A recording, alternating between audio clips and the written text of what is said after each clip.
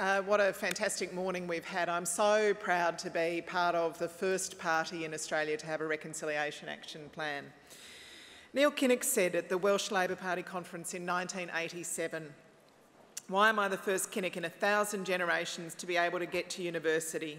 Why is Glenys the first woman in her family in a thousand generations to be able to get to university? Was it because our predecessors were thick?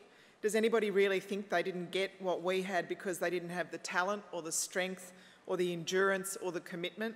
Of course not. It was because there was no platform on which they could stand.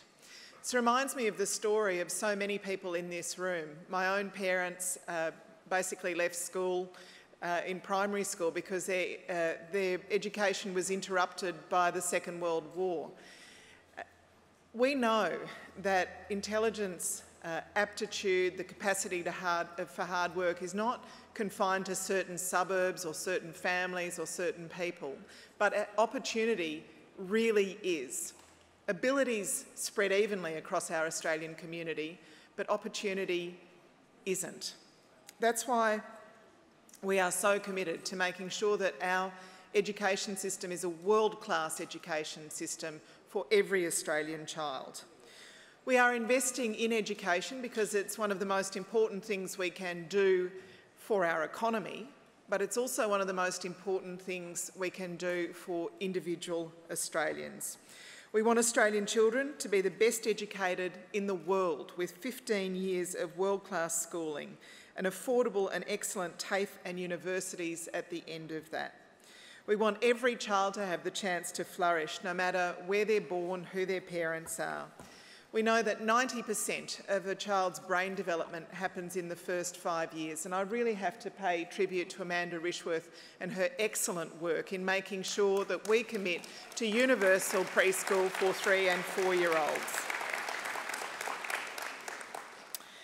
Of course, uh, we believe in parental choice in education, but for parents really to have true choice, we need to make sure that our public schools are the best in the world. There's no real choice when we starve our public schools of funds. And that's why we've said in our first Labor budget, we will commit to a $14 billion increase in funding for public schools over the decade. Now, we're happy to uh, restore funding to Catholic and independent schools as the government has done, but we say we also need to restore the funding they have cut from the system that educates two out of three of every Australian ch uh, child. And I've got to say, it's been really great to see Dan Andrews and James Merlino stick it to the federal government, stand up to them, stand up against the funding cuts. Our extra funding means that schools will be able to offer a wider range of choices. Of course, all the basics, reading, writing, maths, science, coding, but more choice, music, arts, uh, languages, uh, drama, uh, all of the things that give children the opportunity to experience a much broader world. More funding means an earlier identification of kids who are falling behind and the one-on-one -on -one help they need to catch up. It means more extension for kids who are gifted and talented. It means more support for our teachers uh, and school staff to continue to upgrade their skills, to, uh, to work together uh, to upgrade the skills of starting teachers, uh, to provide mentoring to those starting teachers, for uh, teachers who are very experienced to spread uh, their experience with the other teachers at their school. We want every child learning every day and we want every school to be a welcoming and supportive environment. That means restoring the funding cut from disability education in our schools. It means giving every child the chance to thrive in any school they choose to attend. We are committed to closing the gap in Indigenous education as well.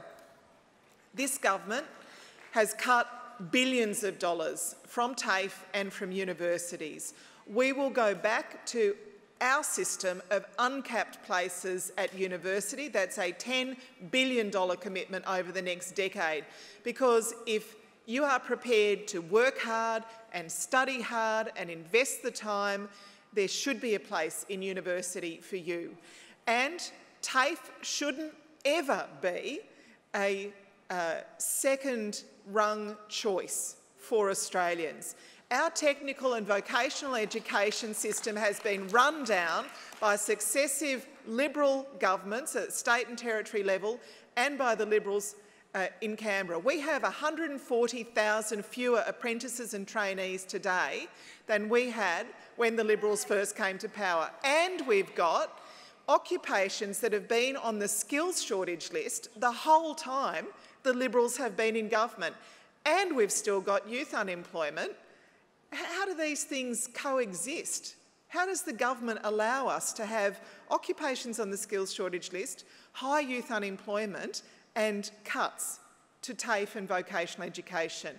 If elected, Labor commits to a once-in-a-generation review of our post-secondary school system because we want a strong, world-class university system side by side with a strong, world-class TAFE system with public TAFE at the centre of it.